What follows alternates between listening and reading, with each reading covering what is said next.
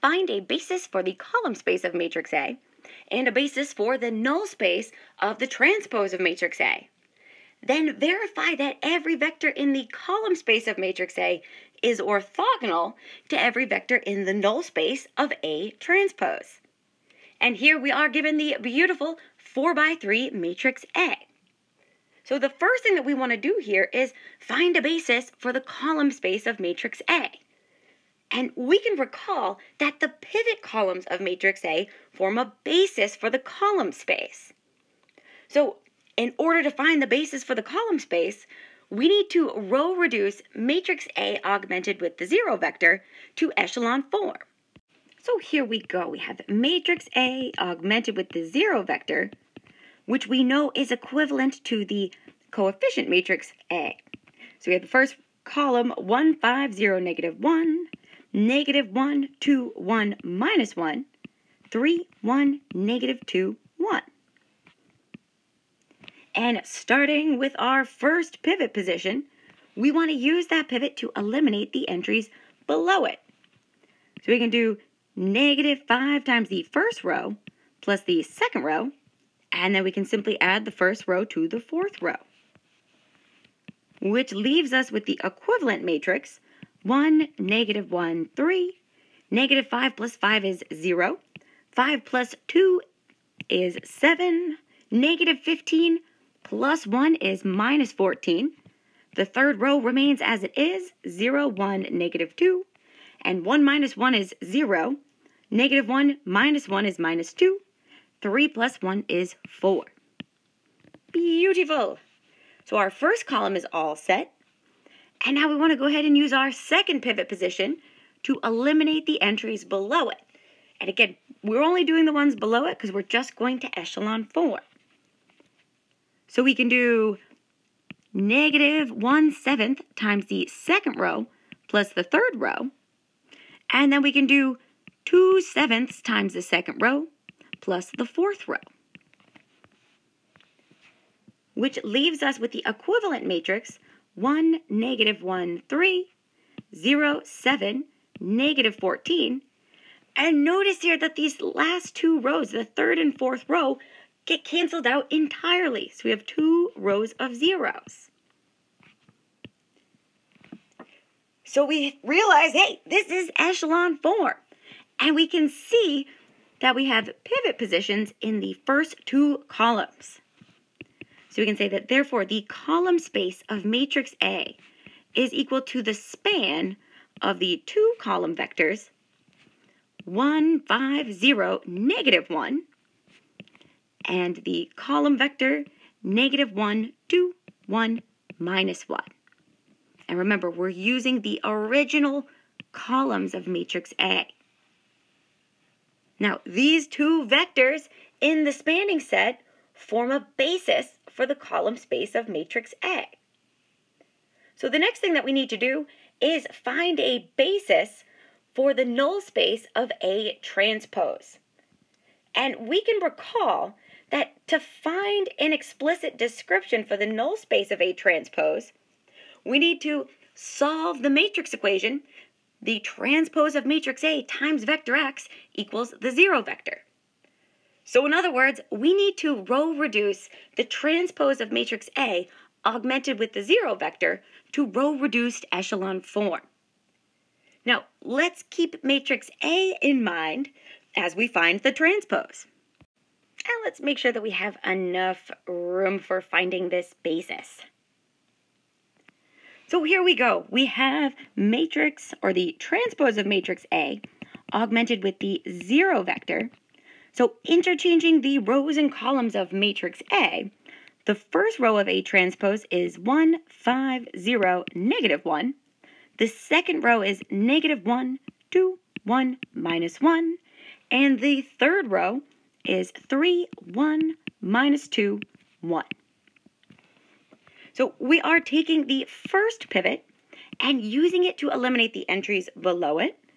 So we can do the first row plus the second row. And then we could do minus 3 times the first row plus the third row, which produces the equivalent matrix 1, 5, 0, negative 1, we have 1 minus 1 is 0, 5 plus 2 is 7, 0 plus 1 is 1, and negative 1 minus 1 is minus 2. We then have negative 3 plus 3 is 0, negative 15 plus 1 is minus 14, 0 minus 2 is minus 2, and then positive 3 plus 1 is 4.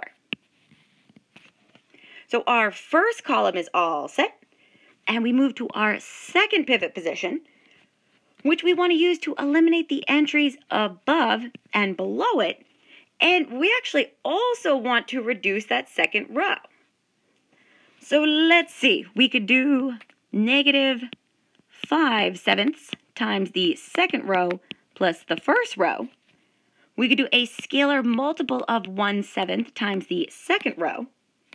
And then we could do 2 times the second row plus the third row, which leaves us with the equivalent matrix. So the first row becomes 1, 0, negative 5 sevenths, positive 3 sevenths. The second row becomes 0, 1, 1 seventh, minus 2 sevenths. And the third row gets eliminated entirely. Woohoo! And would you look at this? We have row reduced echelon form. And this is letting us know that x sub 1 is equal to positive 5 sevenths times x sub 3 minus 3 sevenths times x sub 4. That x sub 2 is equal to negative 1 seventh times x sub 3 plus 2 sevenths times x sub 4. And that x sub 3 and x sub 4 are free variables. So we can take this solution and write it in the parametric vector form. So we have vector x, which is a vector in R4. So I have x sub 1, x sub 2, x sub 3, and x sub 4. And this is such that we've seen that x sub 1 is defined as 5 sevenths times x sub 3 minus 3 sevenths times x sub 4. That x sub 2 is equal to negative 1 seventh times x sub 3 plus 2 sevenths times x sub 4. x sub 3 is a free variable, so it's just itself. And x sub 4 is a free variable, so it is also just itself.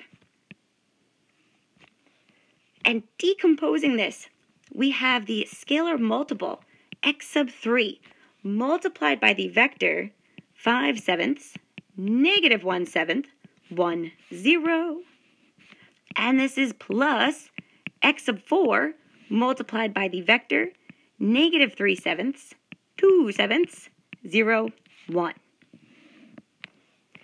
And we are officially ready to conclude that therefore the null space of A transpose is equal to this set spanned by the two vectors so our first vector is 5 sevenths, negative 1 seventh, 1, 0.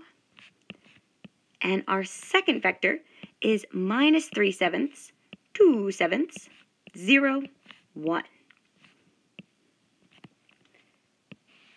And so the two vectors in this spanning set form a basis for the null space of A transpose.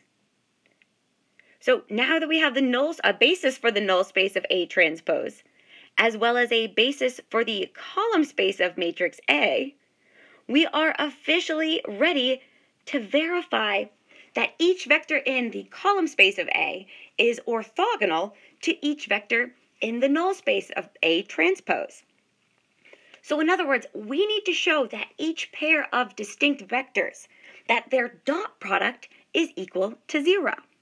So I'm going to go ahead and let the vectors in the basis for the null space of A transpose be vector u sub 1 and vector u sub 2. And I'll let the basis vectors in the column space of matrix A be vectors v sub 1 and vector v sub 2. So we have four dot products that we need to verify here. So case 1, we are taking the dot product of vector u sub 1 with vector v sub 1. So we have vector u sub 1, which is 5 sevenths, negative 1 seventh, 1, 0, And we are dotting this with the vector in the column space of matrix A, 1, 5, 0, negative 1. So computing this dot product, we have 5 sevenths minus 5 sevenths plus 0 plus 0, which equals 0.